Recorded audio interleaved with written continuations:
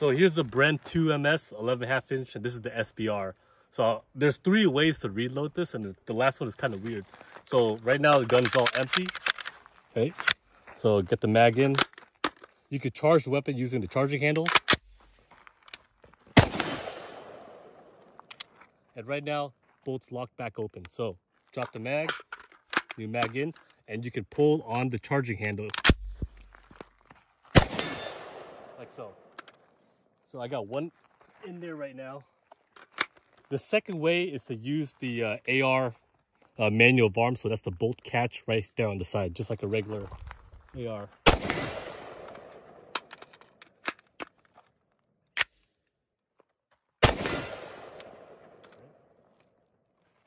And then the last one is kind of weird here. So there's actually two buttons on the inside of the trigger guard.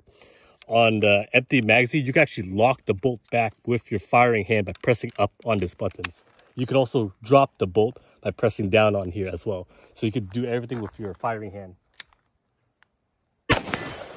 So bolts locked back open, magazine in, and I could drop the bolt like so.